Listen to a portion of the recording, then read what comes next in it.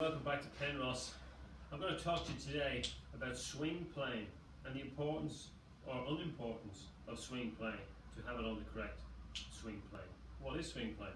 Well basically the golf club is sitting on a 45 degree angle. It's not vertical, it's not horizontal. So the perfect impact position is at that point, okay?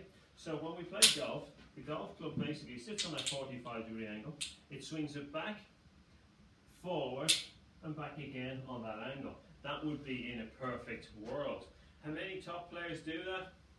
I don't think I've seen any, strangely enough.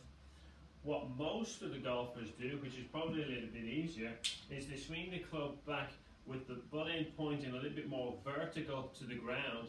So when they get to the top of the backswing, the weight of the golf club moves the club head away from you, flattening the swing down on to the original angle.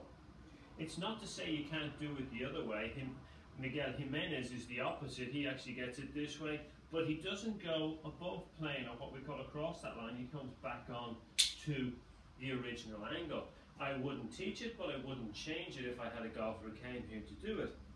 Now, but the problem is most amateur golfers do tend to swing the club too much this way, which the head of the club is pointing very flat parallel to the ground instead of perpendicular, which tends to instinctively get one to throw the club head over the top of the original ball to target line. So the angle is too high, club going left, and that's where the classic slice comes from with the, with the driver or a pull straight left with the irons, resulting in a very steep impact and a loss of power. So if you watch the, the top players, the best way, probably the most popular way, is swinging the club back, end down as soon as possible so we get a nice got position with high hands. Then club will flatten up on the downswing into impact.